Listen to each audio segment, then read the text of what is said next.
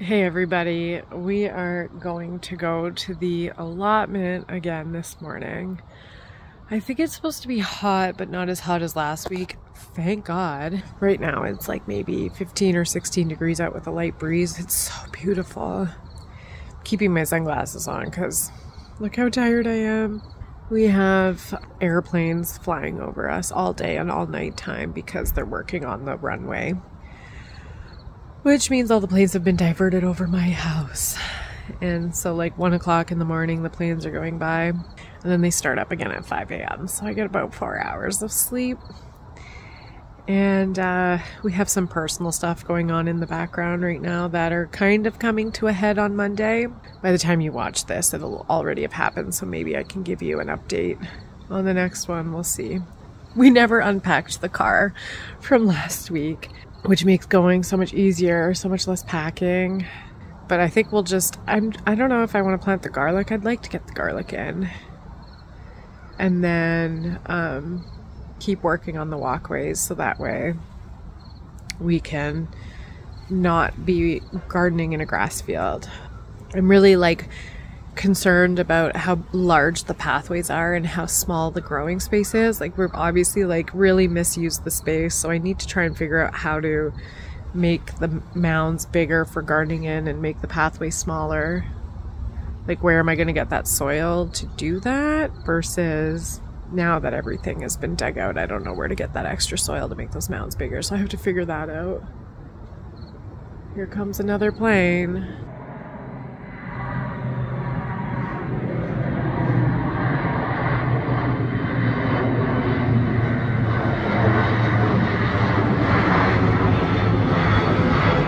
So yes, we need to make the mounds bigger. And then I'm also, I need to make spaces for um, the compost bin that I'm bringing. And I'm going to bring a rain barrel. And I didn't really plan spaces. I have one spot for the compost bin, but I didn't really make space for the rain barrel. So I feel like I spent all this time building the mounds and the seating area and the trenches. And then I am now in a place where I feel like I might have to start it all over again.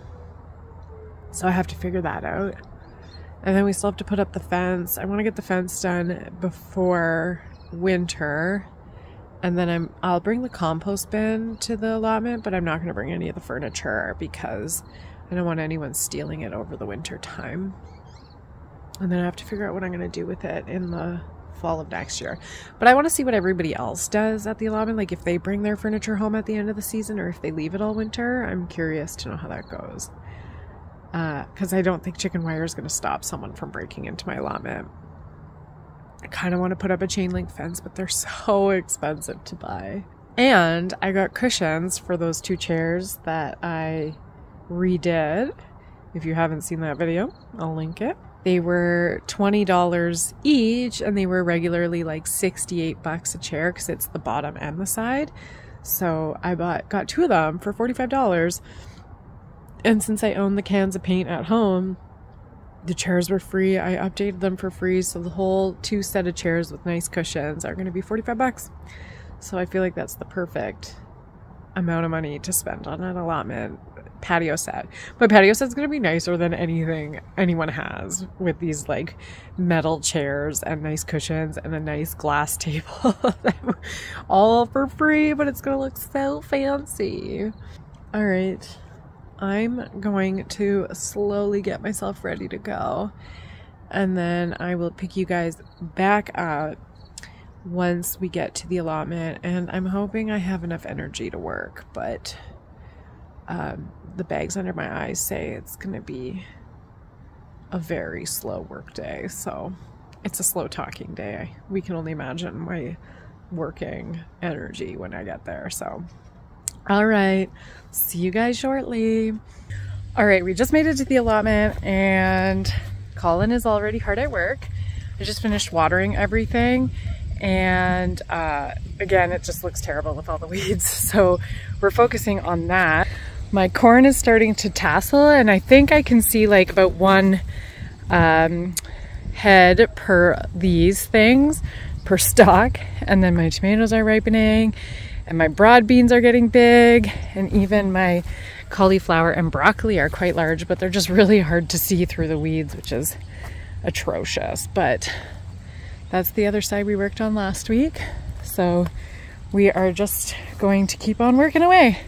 We're doing this aisle next because these ones are at least narrow, so they're a little bit less work. So here we go. I feel like I definitely ruined one of these pairs of gloves by leaving them outside all the time. So it was like um, the sun kind of killed them. Oh, that's annoying. You know. Oh my god. What happened? We'll see in a sec. Oh, I what think is this that? is a turnip. Sweet, that's amazing. What's the leaf on, on the turnip look like? Kind of like a radish. This is like wild where, you know, like we haven't watered any of it or Yeah. anything. Yeah, And we found a radish and I think this is a turnip. looks like it. Looks like. This is so funny. Guess those are coming home with us.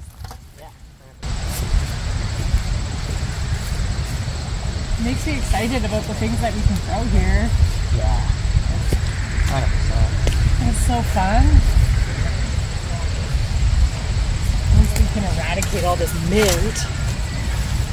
Or we let the mint grow in between so that it is our weed control. The mint? Yeah. Oh, that's so weird. What was that? I don't know. Someone took comp or somewhere, but it's a Saturday, so it's not like it's a school.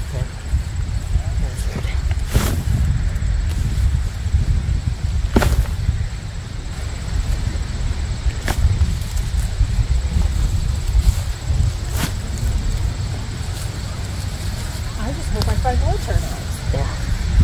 It's like treasure.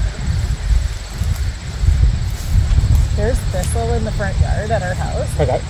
and it's like literally it's so big so we're gonna need a shovel to get it out Yeah. That sounds dangerous.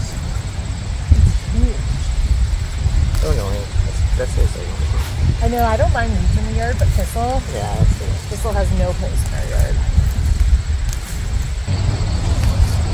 here's whatever beat the mint or the mint will just Yes. beat us That's quite possible. It will be missed. run us to exhaustion until we give up on life I'm sure I'll come back once we are long gone. I'm dead. We've been pulling these weeds out. I don't- Not all the time can I get the roots out, so i know they're coming back. I'm just like trying to get the roots, the plants that are like really close to the pool. God, I have a massive rash on my leg from whatever, something. It's like all right here. This is not better than things. If you're wearing long pants going forward. Um, kind of hoping we don't, but like once we're done all of the mulching and stuff, Yeah. I'm hoping that we don't ever have to let the weeds get this bad. It's just hard, like, to divide your time. Yeah, we don't have a lot of time, so it's just like doing everything. Yeah, it's like planting, building, mulching, weeding. There's so much to do. A rash on my arm too. Ugh. Nope, no root. For how long of a waiting list there is Yeah. to see the amount of like untouched allotments? Should talk to somebody and we can have it. What's going on with that one? Well, like here's the problem: is, is it's almost like as long as you pay, then you can have it. Yeah, but they could. They could. But they should be like you have to start working on it within like X number of weeks Yeah. of getting access to it. I guess the question is if you were injured for one year, with someone else. temporarily. Like like you, the person who owns it. It's just hard to fight the weeds when you're surrounded by them. Yeah. And like all of these plots that are not maintained, all of these flowers and weeds and, and plants are all going to seed. Yeah, and that's right And they're coming right in here. Maybe I don't want to go camping in the summers anymore either because it kind of feels like we're camping when we're here Yeah. in the middle of a field. It's looking a lot better that bed. This one? Yeah. I know, you can actually tell there's plants in it. Yeah. When we came here last weekend, there was like nobody here, and I think it was just too hot. People were smart enough to know not to come. But there's a lot of people here today. Oops. The hoary hoary name. So.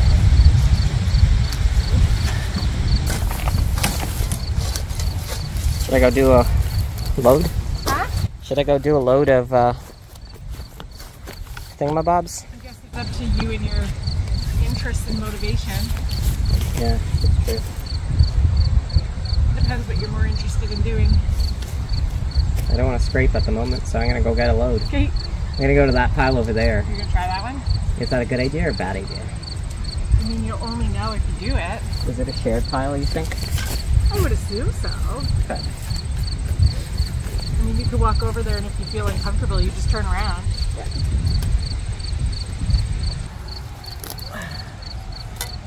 How'd it go? Good. Better? Yeah. Same? Uh, better, shorter, I feel.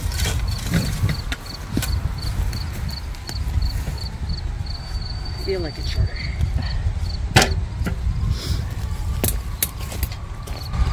Nobody called you out? No, there's nobody there. It's good because then you can go with a pile of weeds and then go get a pile, a pile of mulch. I'll keep bringing you spread eventually whenever you need to switch between weeding. Where's the? Can you pass me the the rake?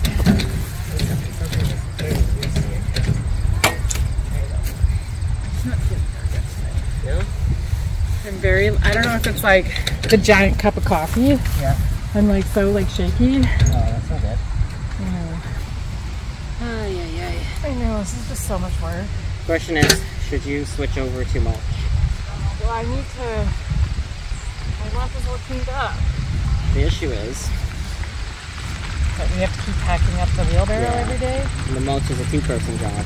It's not a two-person job. It just goes faster with two people. Yeah. But the problem is, is you can't mulch over here until I'm done what I'm doing. Yeah. So I would say, as much as you want to say mulch is a two-person job, weeding is a two-person job in my opinion. So, No, we haven't done it. well, there's no point in putting mulch. We'll overpower them. No. So it's like I like to crouch and pick weeds because it's the closest thing to a break I'm taking. So the government of Ontario has changed their um, threshold on anemia or iron deficiency. And before I was like right on the line of anemic, but now with the change of the rules, I'm like very, very much in the anemic category of low iron. And I'd already been like fairly low iron before, and then I donated blood, and I didn't realize that donating blood was gonna cause my iron levels to drop so bad. So I now get tired like really easily, on top of having hypothyroidism where I'm already tired to begin with. And so I, I haven't been getting much sleep, and I'm hypothyroid, and now I'm anemic, and so this is hard for me. Okay, it's been about two hours that we've been here, and I didn't videotape much of it because we're just silently working. We're just trying to get stuff done because we're both feeling a little discouraged by the amount of weeds that we have. And so we did a ton of weeding and added some more wood chips to the pathways. So I'll just show you guys. So we weeded here and those wood chips are already breaking down. So we need to add more here and Colin scraped and wood chipped this one. And then I scraped and we wood chipped this one here. And then we added, we pulled out weeds from this one and added more on this one here just to, uh, because the weeds were coming through. So I'll give you a nice wide view. And so it doesn't look too bad on this side here, but you can really see what happens when it's unmaintained. And uh, this is a perfect example over here. When we're not working on them, this is what they look like. And they look so bad. It's so hard to to feel encouraged like we're beating the weeds here. And then the pathways still look good here, but like these are my gardens. Like there's there's really only like 12 plants in there that are supposed to be in there and the rest is all weeds. Like this is a really great example here. Like these are so bad. Here's my actual plant right there. And then there's one right there, but they're competing with just so many weeds and it's like there's only so much time we have when we come here. So definitely a mental experience trying to overcome how we feel about what's going on here. But we're hoping that when next week, next year comes, if we've mulched really heavily at both the pathways and the beds, that the weeds will be easier to pick and we can stay on top of them. But I mean here, like, that's so bad, so bad. So this is, I think, why we're really quiet. It's a mix of um, feeling discouraged and just trying to get stuff done for the couple hours that we're here at a time. But I think we've put in, this will be the 12th video, and we come for a minimum of two hours. So 25 to 30 hours we put into this and it still looks this way, which is pretty wild. And that is times two people, so 50 hours if it was me by myself. That's a lot of time. So, but my cauliflower, broccoli, and cabbages are looking pretty good. This is funny because this is under uh, insect netting and they're the most eaten. So, but like these are looking really good. And then these ones are looking really, really nice. So these ones I planted first and then those ones I planted later, which is why there's such a size difference. But I'm really happy. I'm hoping they can grow in time.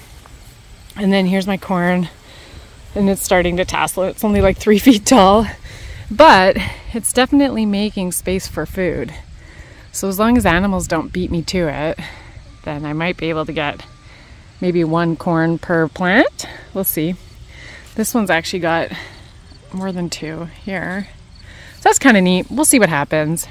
This was all just a fun experiment anyways. It wasn't meant to be anything too much. Oh no, I gotta cover them up. Or the cabbage moth will get them.